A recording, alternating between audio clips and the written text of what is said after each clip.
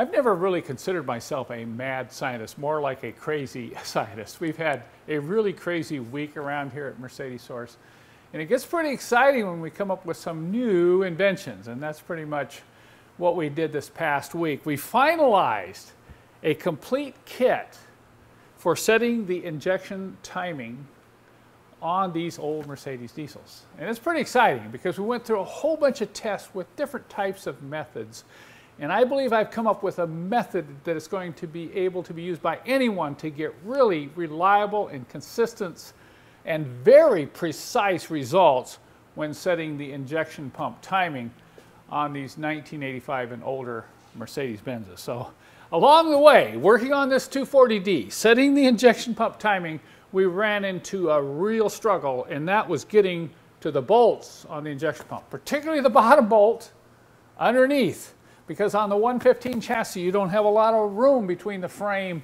and the injection pump to work and there's a lot of hoses going through there. So it was kind of a pain. We just kept working, rolled the sleeves up, just kept trying. And this is where we came up with one crazy invention. And I'm going to call this my snake wrench.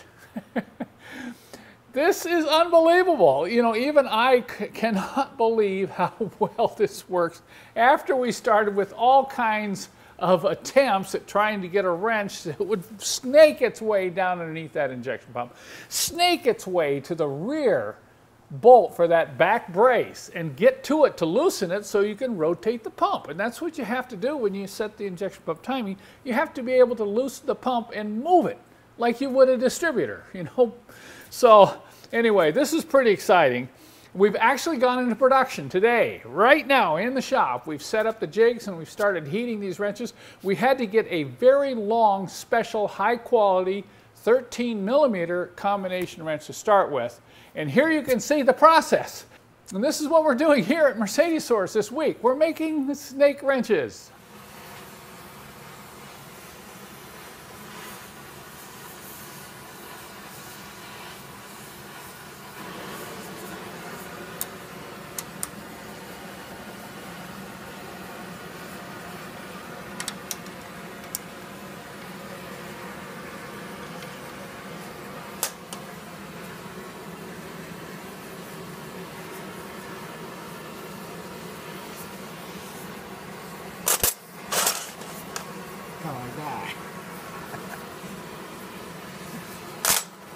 Now when I filmed a training video on how to set the injection pump timing, it was very difficult in the engine compartment of this 240D to get the camera down there to get to show how this wrench worked. I mean, you couldn't, you can't even get to the bolts, you can't even see the bolts, and trying to get a camera in there is just a lost cause. So what I did is I went back in the shop and pulled out a OM617 turbo diesel engine that's out of the car. So now let me show you how this wrench really works to get to those bolts.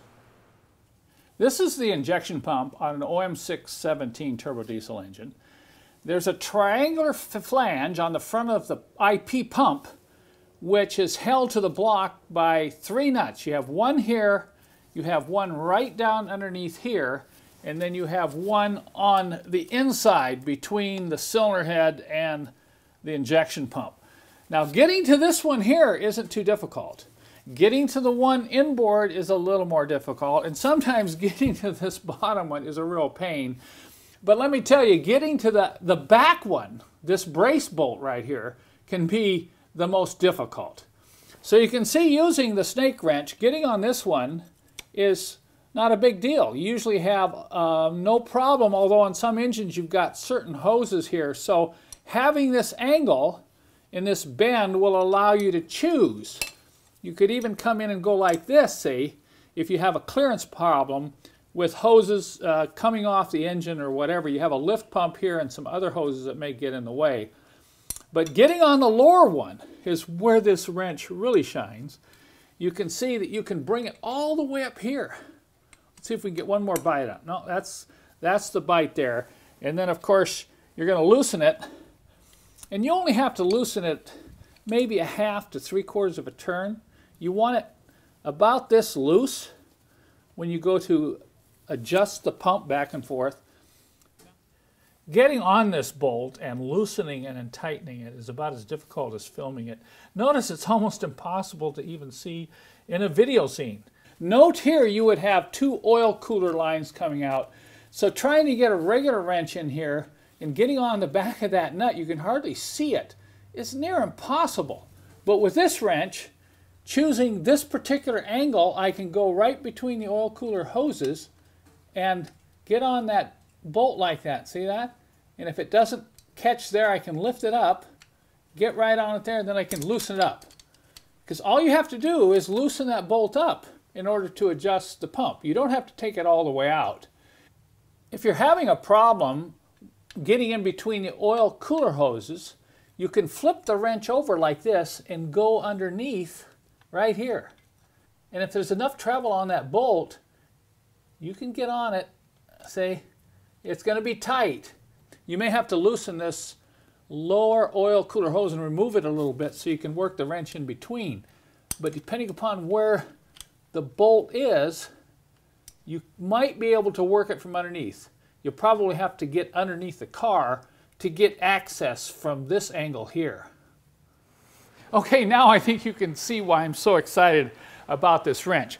Even after coming up with the bend, we decided to make another modification to the head to give it a little more clearance. I'm going to show this up close to you so you can kind of see the evolution and the final design of what I call Kent's snake wrench.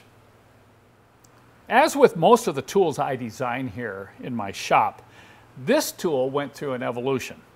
And if you saw my previous episode of Kent's Garage, that's episode number 13, I showed some of the early wrenches, the early attempts, I could say, at trying to get this wrench right here.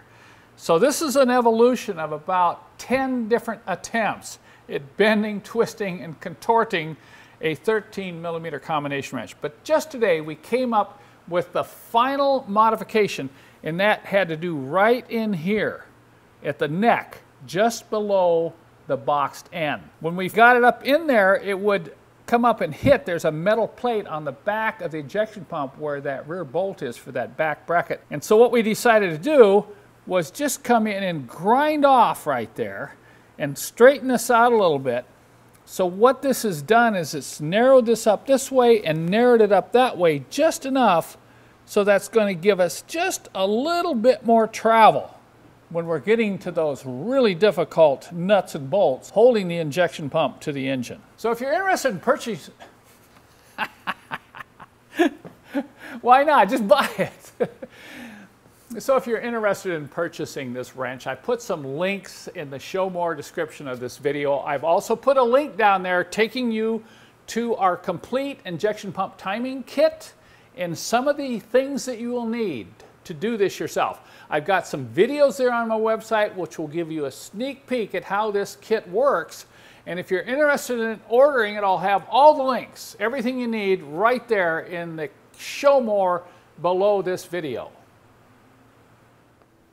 There's a couple things I should point out right here, and that's how much time do you have between when the flow of the drip tube starts to slow down and when it starts dripping and stops dripping? You're only talking about three or four degrees there okay? From, if you start at 65 and go all the way down to about 25, you're going to be getting a nice steady stream coming out of the drip tube. Just remember that as you're approaching two to three degrees before you expect to get the timing marks lined up, watch that drip tube very carefully. It's going to start slowing down the flow and it'll start running to the back of that capture tube. And then all of a sudden it'll start to drip real fast. And once it starts to drip real fast, you've only got about one to one and a half degrees before it's going to be dripping at one drip per second. Then immediately, within a half a degree after that, it's going to stop. So that's real important to know that when you do this the first time. Otherwise, you're going to be kind of like, what? What just happened? Okay.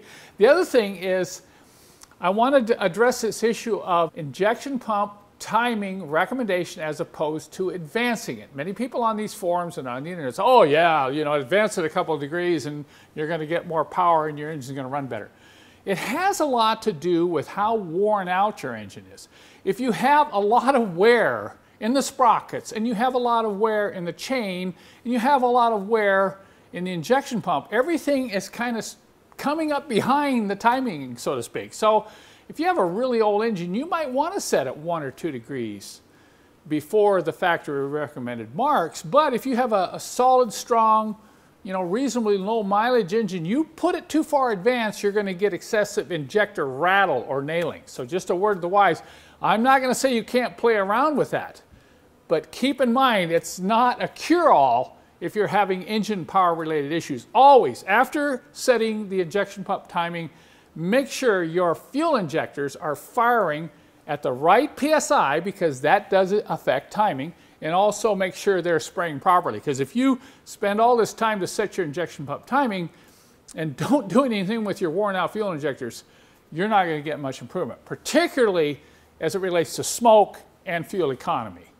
Together, injection pump timing and injection release pressures and spray pattern can do amazing things to increase fuel economy and to lower engine smoke.